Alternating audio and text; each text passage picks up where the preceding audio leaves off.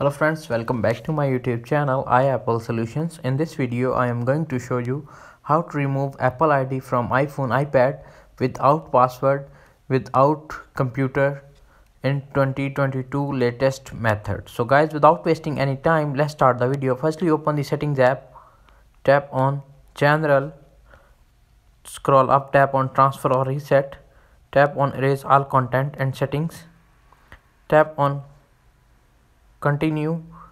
You can see appears on screen. Screen time passcode. Enter screen time passcode.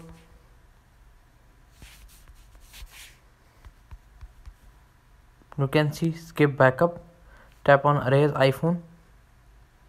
You can see password. Go back. Open the settings app.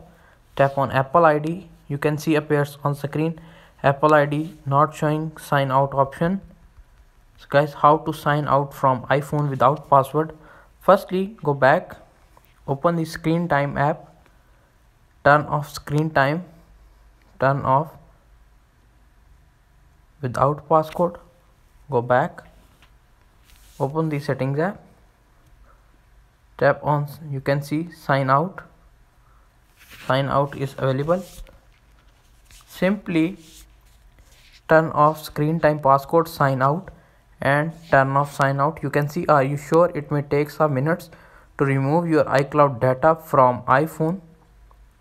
You can see removing icloud data from iphone ipad and ipod touch. Wait 30 to 40 seconds to removing apple id from iphone ipad and HomePod you can see remove apple id from iphone without password without computer that's it.